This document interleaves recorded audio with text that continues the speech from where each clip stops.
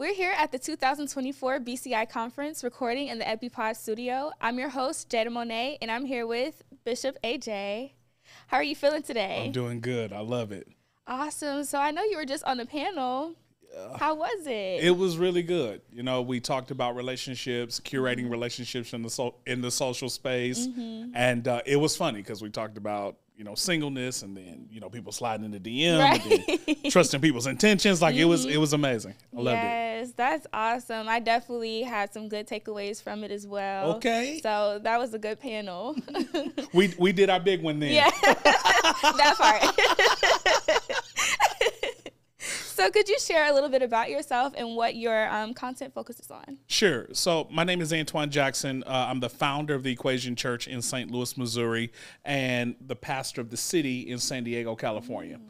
Single dad and the author of the book, The Creative Leader, who said creatives couldn't be bosses. So, spend a lot of time talking about leadership, obviously pastoring, mm-hmm. and relationships, and just helping, I guess, the body of Christ and just people overall get clarity. Mm-hmm. So, what would you say inspired you to get into that? I have detested religion.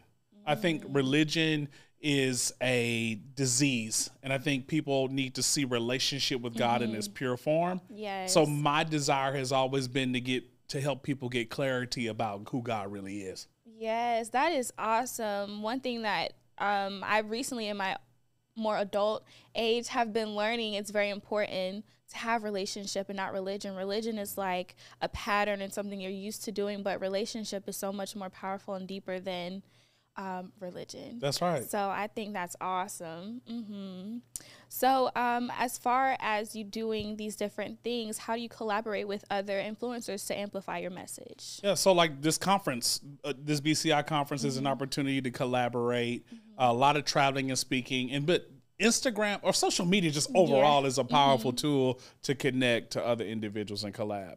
So speaking of social media, how do you deal with negative comments or criticism?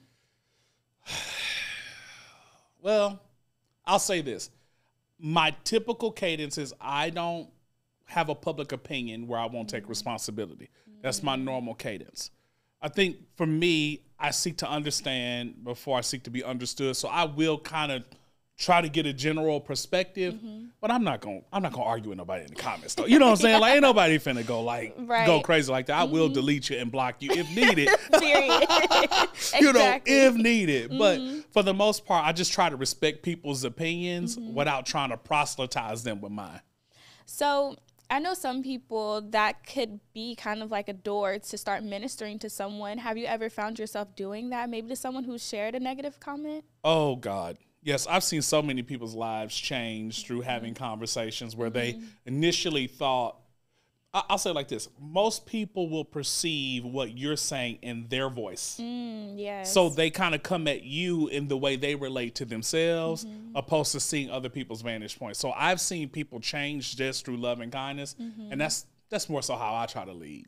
Well, that's awesome, and that's also good advice for everyone out there watching as well. Um, so, do you have any brands you would like to promote or any uh, merch?